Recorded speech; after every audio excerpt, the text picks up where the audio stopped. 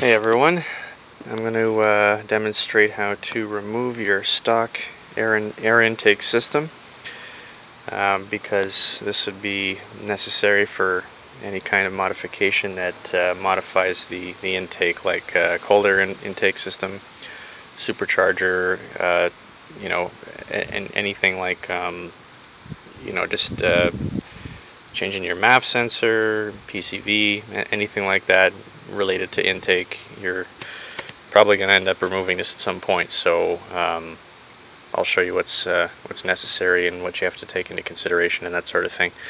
Um, basically, the entire tubing system, the whole all the induction system is held in place by um, got this clamp over here um, holding the tubing to the throttle body, and there's a flathead uh, screwdriver can, can take that off.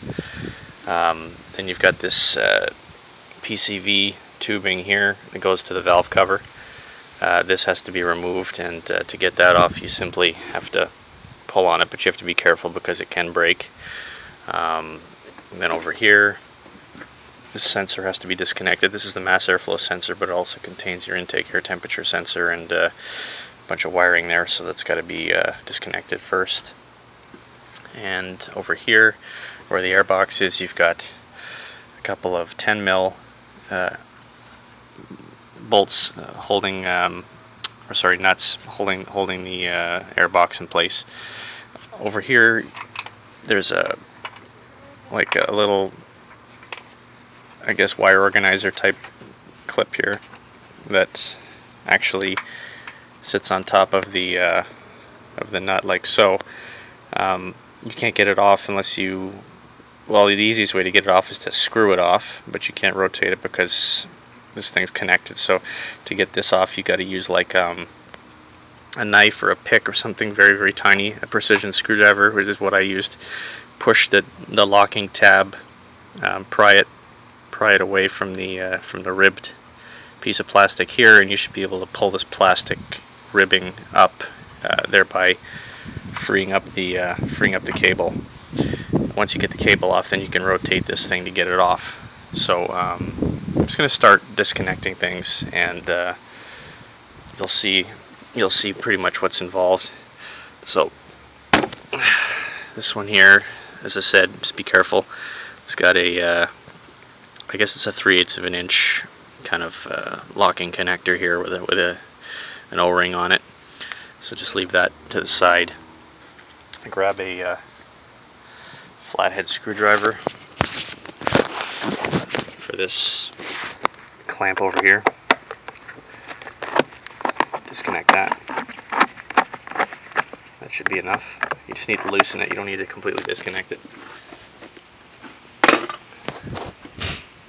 Over here you got your mass airflow connector.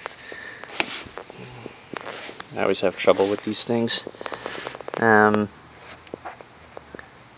I'm going to assume that it's held in place with this top piece here, so I'm probably going to need to disconnect that first. Let me see if that's the case. Grab the screwdriver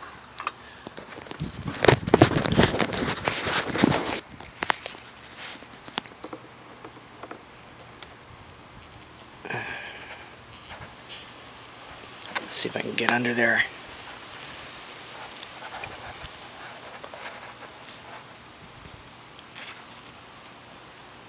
Hmm. Actually,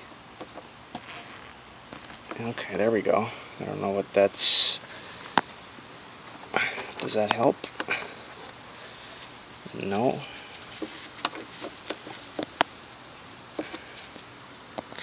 Usually these connectors have some sort of a locking mechanism that you have to disconnect first before you can pull it out. Um, in this case, I'm not 100% certain whether I got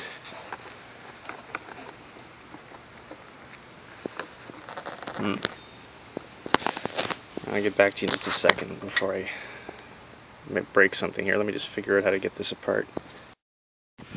Okay, so I got it off. Um, I didn't do anything extra, actually. Um, it's just that it, I guess it wasn't coming, but you just have to kind of pry it off. Just kind of get under it like that. It comes off. It's just it wasn't forthcoming at the beginning. I think it's really just this this gray clip you have to deal with. Just pry that back first, and that should unlock it. I, I think that's really all you need to do for that. Um, now over here, you got these, as I said, these 10 mil sockets, but the problem is you need deep sockets to get at them. So I'm using a wrench because I don't have a deep socket handy.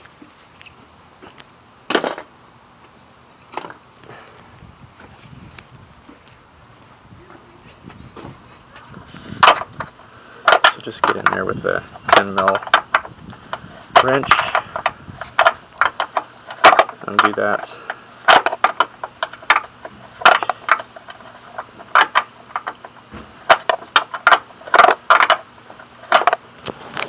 Just fast forward this. Okay, so now that I've gotten the uh, this, the bolts off there, um, you can take the can take the air filter cleaner over the top of it off, but first we have to um,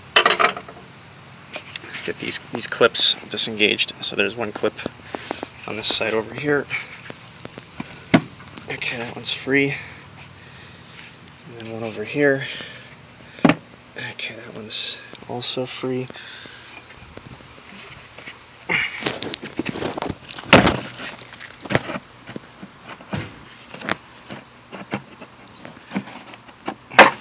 Okay. So now the top of the airbox is free. And with that clamp loosened, you should be able to rotate and remove the entire tubing sub-assembly here.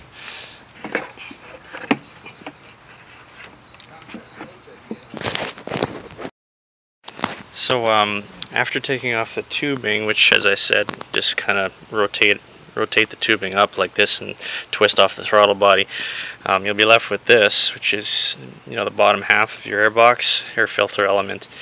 And uh, as I said, remove those two nuts there. I just did that. Now after that, you should be able to pry up the complete airbox uh, problem that I ran into is you've got these metal washers that have like an integrated rubber um, bushing underneath them, I guess for vibration damping or something. And one of them was like really, really stuck on on the thread on the post, so I couldn't get the box up. Um, but theoretically, it should come up. So if your car gets stuck like mine, just use the brute force method and just reef on the on this bracket and try not to break anything get that come up and then like I said you should be able to just pull up and lift the entire airbox out of the engine compartment at this point um, also because you know the brilliant people at GM you know how how they uh, they decided to you know organize the uh, engine compartment or what have you um, this connector here, which is part of the air conditioning system, um, is like right right behind the airbox. So you could easily break it if you don't disconnect it first. So I highly recommend that you do that um, so that you don't break anything. Um, and that's pretty much it. There's a grommet down there which you may remove if you if you need to use that hole or you can just leave it there it doesn't matter um, but now that you've got this whole area freed up, you can install your aftermarket cold air intake system or, or whatever you're going to do.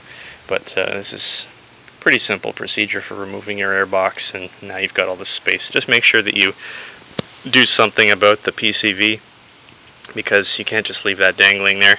You've either got to reconnect it to your new intake or uh, put a breather on it or something because um, otherwise you'll get crankcase gases and oil and stuff in your engine and you could have a fire or some other problem. So just make sure you deal with that. But other than that, that's pretty much it. Okay, thanks a lot guys. Like, subscribe, comment.